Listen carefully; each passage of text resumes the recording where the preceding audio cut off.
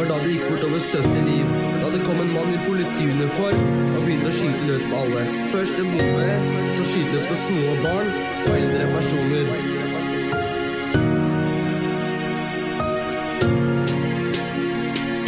Hvordan går det an å være så hjerteløs som deg? Drepe skyldige folk og slå deg løs. Først nok med det. Du bestemte deg for å gjøre noe sykere. Skyte ned alle ungdommer du kunne se. Tenk de hadde, hele livet å tilbe. Men du tok det fra dem og er fornøyd med det, hadde jeg sett deg, så hadde jeg stukket deg ned. Pårørende, familier og venner, hele Norge står sammen. Men sorgen er noe vi aldri glemmer. Kondolerer til alle som mista noen de kjenner, og hele verden for Norge, som ble utsatt for terror som tok mange liv.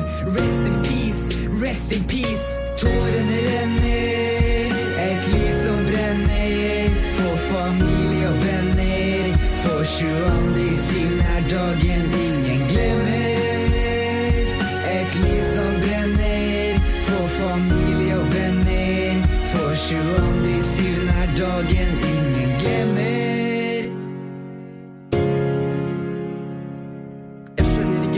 Du driver med, for det går ikke an å bli sikre. For du går rundt og skyter ned folk du ikke engang kjenner til. For du bare dreper dem som er uskyldige. Tenk at du har drept over 70 liv. Tror du folka her er lykkelig? Nei, alle her er lykkelig. For jeg ser sorgen legge mange sår. For det er på TV hele tiden, skulle tro. Det skjedde i går, og det ligger blomster og tente lys overalt. Men det er ikke til å tro at dette her er sant. At en så ung mann ikke hadde hjerte for han ville bare skape vond smerte for alle andre menn. Ikke til han sjæl, for du drepte tre av mine venner. Og det er noe jeg virkelig kjenner, og minner som jeg aldri glemmer.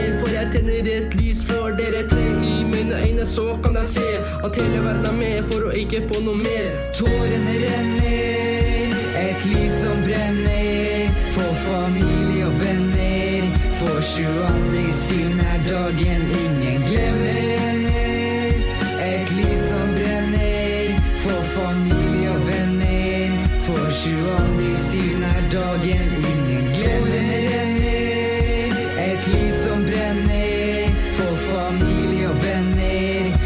22. siden er dagen ingen glemmer.